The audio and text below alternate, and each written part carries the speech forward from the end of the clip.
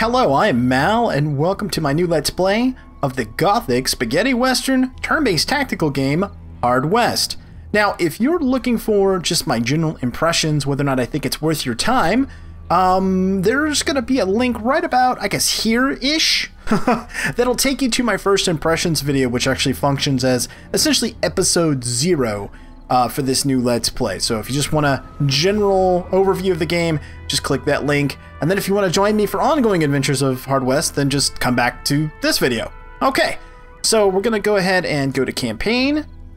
And as good as dead, I showed the very beginning part of this in the first impressions video. What I'm going to do is I'm going to restart on this campaign scenario. Now, when you first load into the game, it might look a little different for you, but you should have at least these first two available, Hard Times and As Good as Dead. I'm going to pick up from where Good as Dead sort of ended in that first impression video. So we're going to restart. We've got the option of uh, basically easy, standard, um, or veteran mode. I'm just going to play on standard. And then the optional modes of combat injuries or Iron Man. Combat injuries, if you get hurt or your enemy gets hurt, you're going to function. Um, your functionality is going to be reduced. So you're not your aim and movement and stuff like that. Um, I don't feel the need to play with that right now. I might do that later on. We'll see. And then as far as Iron Man goes, I mentioned this in the first impressions video as well. It's somewhat irrelevant. You can play with it on or off. It doesn't matter. Most of the characters are required for the story to move forward. So if you get killed, you're going to have to start over in that scenario anyway. So it's somewhat uh, moot I think. Anyway, let's do this. You lost everything, became an outlaw on the run. But you still had Florence, the love of your life.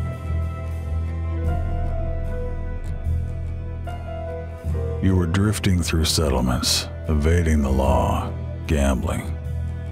You did well enough, but whenever you won, someone had to lose.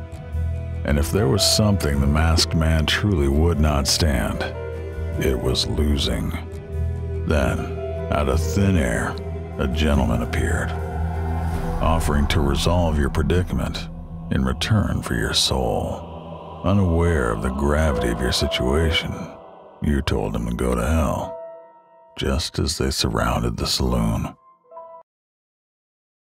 Okay, so what I'm going to do here is I'm actually going to make a quick cut and come back to you. What happens here at the very beginning, and I already covered this in that first impressions video, is that you and your companion um, die, and it's kind of it's it's it's sort of a little tutorial because you can't get out of the bar that you're in, um, and the only way it ends is with you dying, and then you come back um, to seek revenge. You've essentially sold your soul, and you come back to the same town um, and you're gonna, you know, you're in a position to then extract revenge on those that killed you and yours. So I'll see you in just a sec. You gave your soul for a shot at revenge. Trapped betwixt life and death, you now belonged to neither realm. The coffin nails didn't hold fast. You were supposed to be dead, so no one took notice right away. You considered raising the alarm to bring in more enemies, just to satisfy your bloodlust.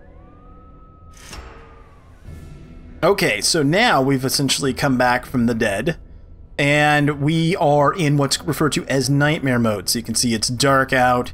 Uh, we won't cast a shadow, which means it's easier for us to sneak around. We're sort of in the setup phase.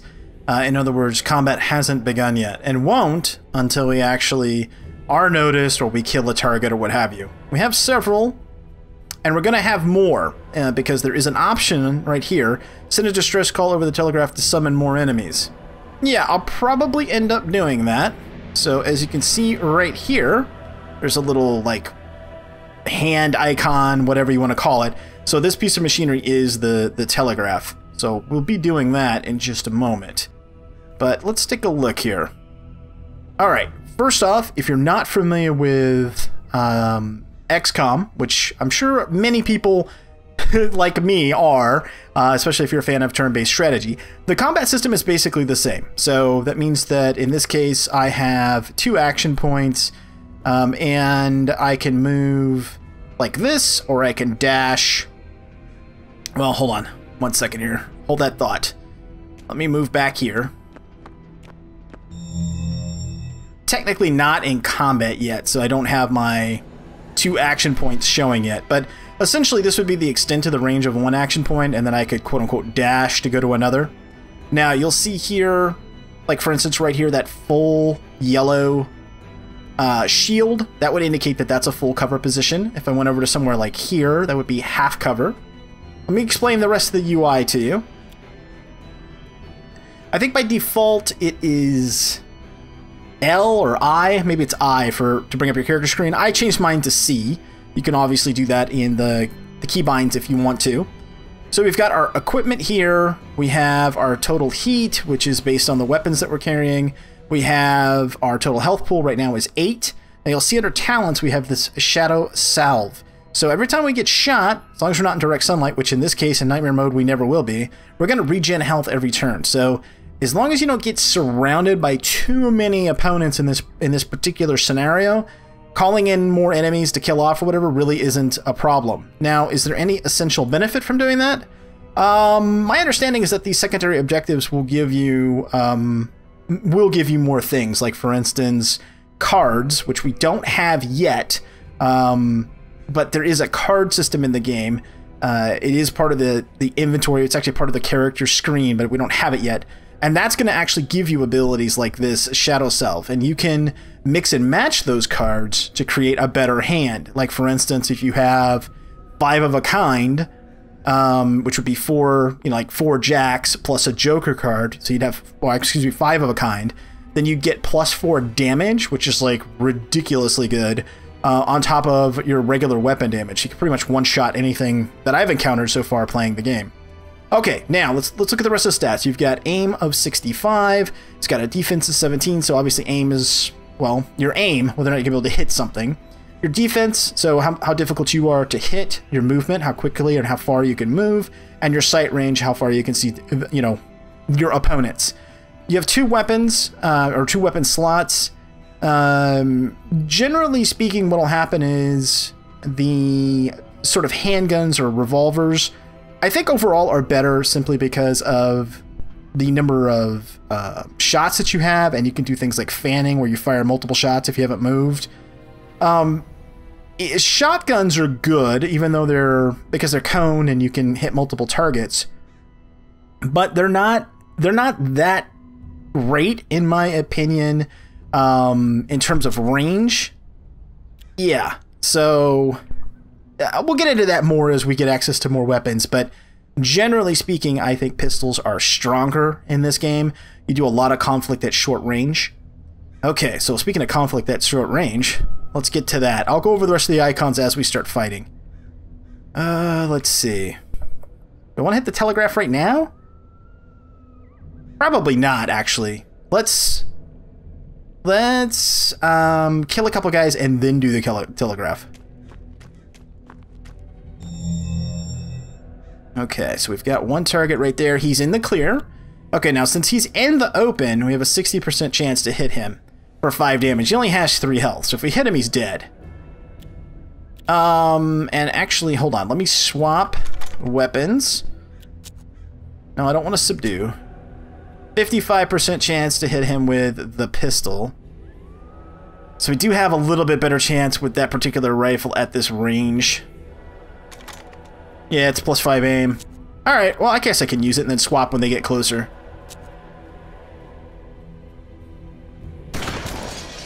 Okay, well that guy's not getting closer. so now combat has started. They'll start coming our way.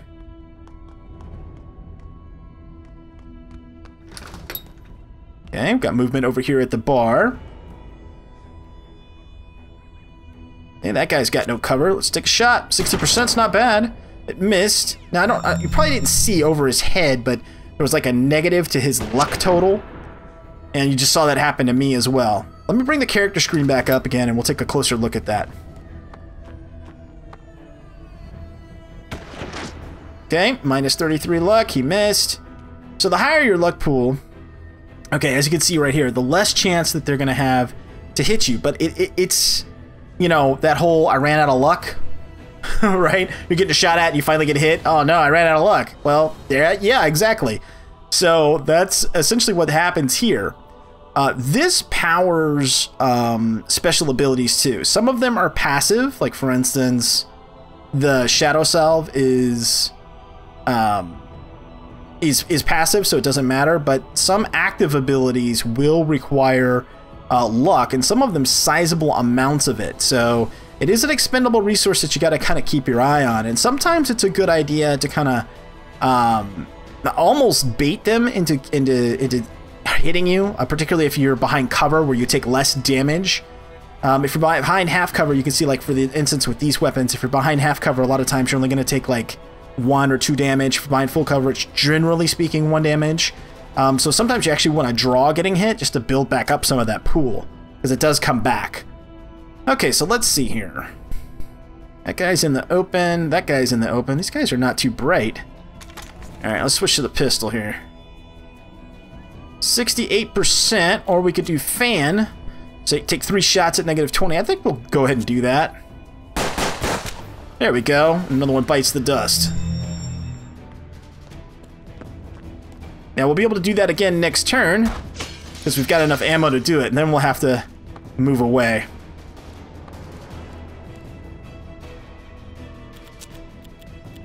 Howdy. nice.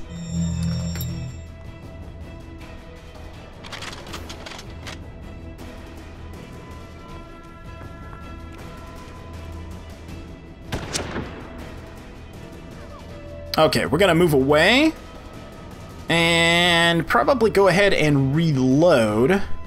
So we'll take one action and move in here. You can see one star went away. I'm gonna go ahead and reload. Now it's not gonna fully reload the weapon. I'm only gonna get three rounds back, but that's okay. You see we got back 10 luck. That's automatic regeneration because we're in nightmare mode. You see right here, nightmare regeneration. Plus 2 hit points per turn, plus 10 luck per turn, plus 10 aim, plus defense. Yep. Now that'll change from scenario to scenario. It's not always like that. Okay, so we're going to move over here, and we're going to go ahead and use the telegraph to call in more opponents. You telegraphed the enemy to send more men. You weren't done dispensing justice. Because why not, right? More enemies, the better. it's going to get a little crazy here, folks. We're going to get beat up for sure.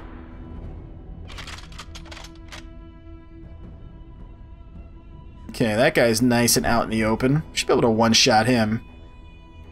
Question is where are his buddies in proximity to him. We have line of sight from here? We might not, actually. Hmm. Alright, let's move here.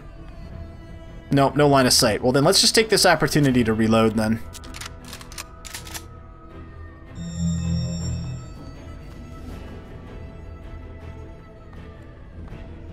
Okay, so while they're moving around, you can see that I can go up by level.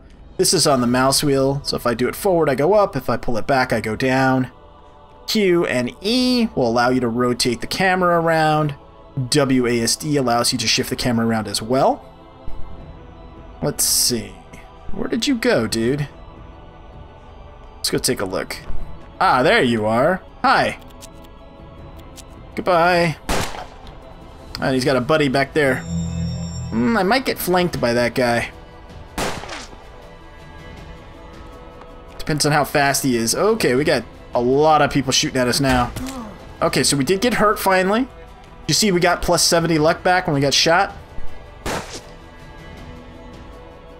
As long as this guy doesn't come up and shoot us in the face, we'll regenerate some health and we'll be okay.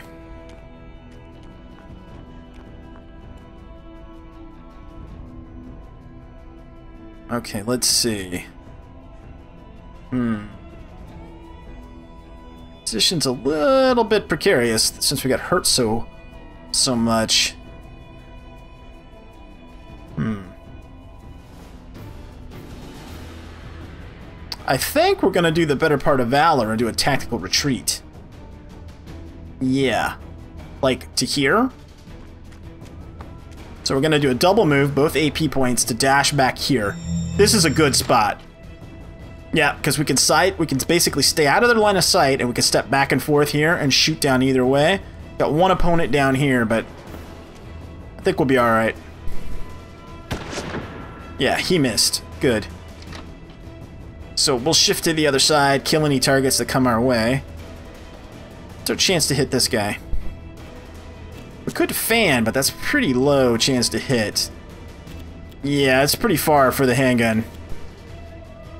Hmm. I don't want to get surrounded. That would be bad. I could move inside and take a shot at somebody, potentially. No windows along here. There's a window here, but it, line of sight should be obstructed for them. Alright, let's move inside. No one's there. Good.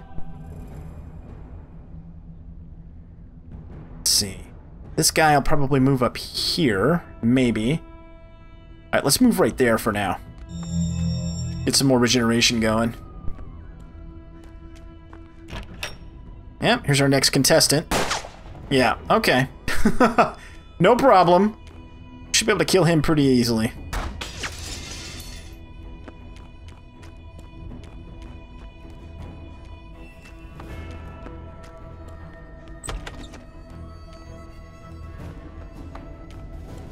That's a lot of that's a lot of guys we called in. Hmm. One shot? Uh, we better fan to make sure. Okay, yeah, he's definitely dead. he's dead like three times over. Dead like disco, as they like to say. Okay, this guy doesn't have a flank because he can't see us. Okay, do I have any ammo left? Yeah, I do. Alright, shoot that guy. Nice. So this guy right here may or may not come around the corner, we'll see.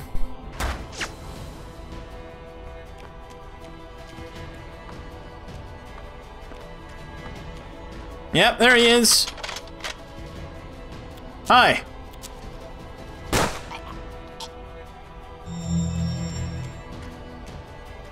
Probably should have reloaded and then fired, but eh, it's okay.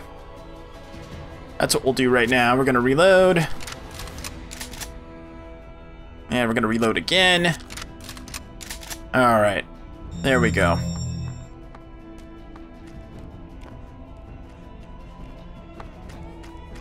And somebody out here-ish?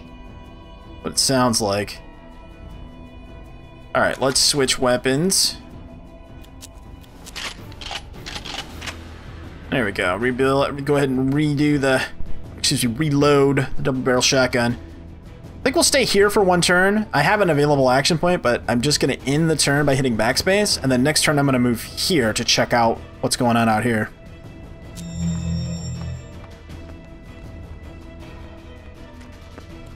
Uh-huh, okay.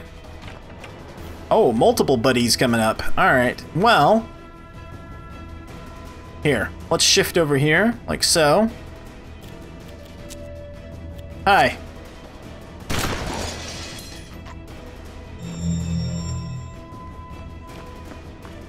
Next contestant.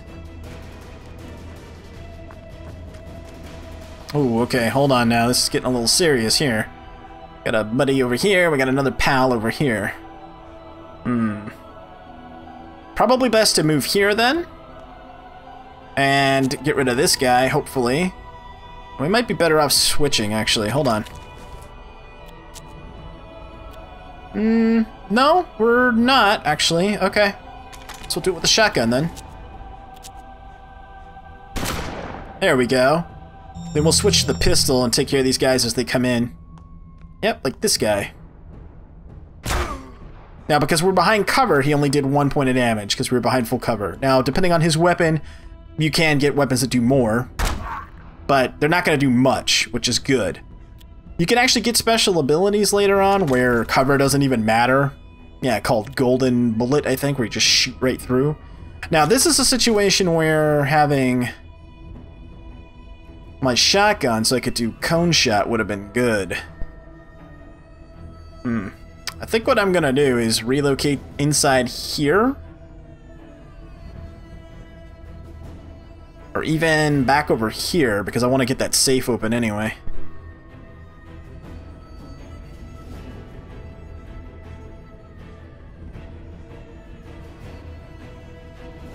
Well, even if they hit me straight on, they can't do enough damage to kill me if it's just these two.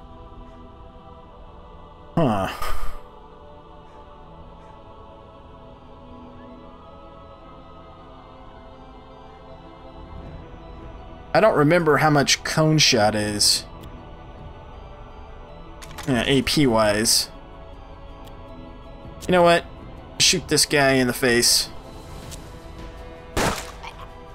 We'll just soak whatever damage this guy does. It'll be fine. It'll hurt, but it'll be alright. Mmm. Ow!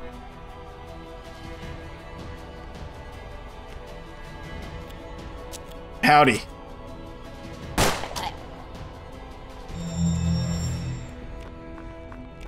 That nightmare regeneration thing is where it's at. Okay, let's see. Let's move over here.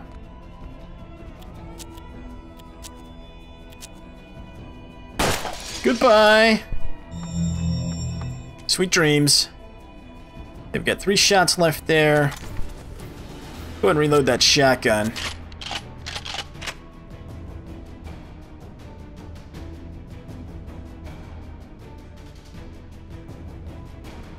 And move back this way.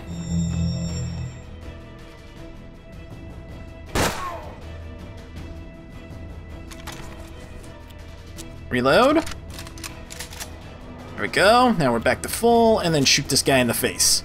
Every living soul there was Oh. dead. I was gonna loot that safe, but oh well. We're just getting started. Alright, mission complete.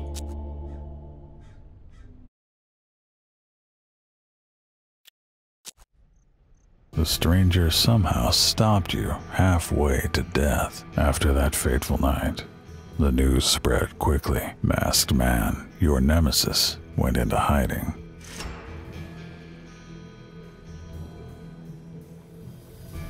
Alright, after the fray. The stranger approached you again. Said he knew the masked man's location, but that telling you would spoil the sportsmanship of the hunt. Didn't pay much uh, much mind. You knew that uh, if you took mon- enough money from him, he'd find you. Then the stranger made an ominous request. He said that if it took you one, if you took 100 lives, you would be rewarded handsomely. Okay, interesting. Stranger asked if you'd met any of your enemy's enemies. He said he'd heard of the tale of an old man named Murray. Seems he ran the gin mill and had crossed the masked man somehow. Tracking him down might put you closer to your target.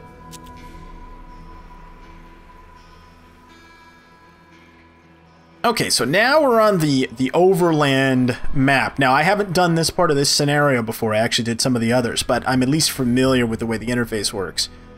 So, let's see. What do we got here? This is a star, so it's a objective. Ravage 65,000 worth of the masked man's properties. Go to the gin mill and talk to Murray about the masked man. Kill 100 people for an infernal reward. Inter interesting. Okay. Very, very cool. Okay, this is us right here, this floating skull, by the way. So we've got 75 coin. Not much to work with, truth be told. But you rapidly get more gear. Yeah. So let's actually take a look at our character now that we have cards. As you can see here, ability cards. Let's go to the open card screen. So you can build a hand, um, just like in five card draw and poker. And depending on what you put together, like two pair, three of a kind, straight, what have you, you'll get a special deck bonus in addition to the abilities on the card. So let's see what we've got. Got a Jack of Diamonds. Okay, slot that right there. King of Spades. Alright, so we'll go ahead and put them all on, and right now, all we have is a high card bonus. But that's okay, plus 8 sights, better than nothing. So let's see, we've got Barrage, shoot at all enemies uh, in sight in sync one, so that's a pretty cool one. But as you can see there, it says requires 90 luck. So when you only have 100 luck, that's something that pretty much you'd have to use right out of the gate unless you've got some special items to boost your luck up. Uh, then we've got Shadow Salve, which you're already familiar with. That's the regeneration. And then Unholy Power. Gain Demonic Strength. Plus 1 HP. Interesting.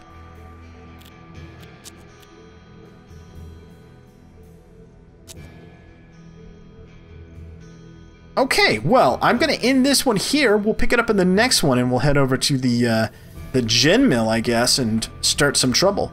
So I hope you enjoyed this first episode of uh, Hard West, and that you continue to join me for more adventures here in the Gothic West. Thanks so much for watching, and until next time, I am Mal, and I'll see you later.